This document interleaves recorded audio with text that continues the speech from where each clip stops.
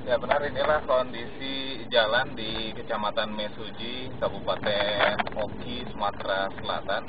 Jika dilihat kondisi jalan ini relatif bagus, meskipun ada beberapa titik yang tambal sulam. Dan perlu diwaspadai pula, di sini minim penerangan jalan dan kondisi jalan yang berkelok-kelok dan e, naik turun perlu diwaspadai untuk kecepatan Anda berkendara di sini, khususnya yang berkendara pada malam hari.